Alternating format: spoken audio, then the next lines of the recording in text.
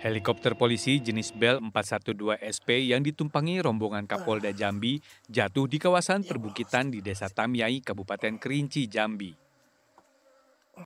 Awalnya Kapolda Jambi terbang dari Bandara Sultan Taha, Kota Jambi menuju Kota Sungai Penuh untuk kunjungan kerja di Kabupaten Kerinci pada Minggu pagi.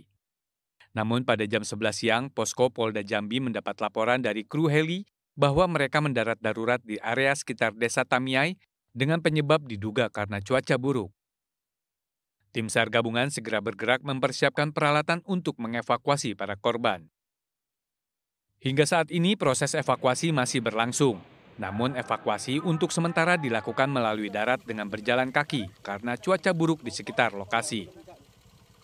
Ini sedang meluncur ke sana, eh, tim dari SAR dengan Polres Kerinci, dari Brimob, hmm. dari Pol Airut, eh, dari SAR juga ya, hmm. menuju lokasi, menuju lokasi. Hmm. Sementara eh, belum sampai di lokasi, sementara hmm. belum sampai di lokasi, sedang menuju ke sana karena cuaca berkabut, hmm. cuaca berkabut eh, dan informasi terakhir tadi eh, turun hujan juga.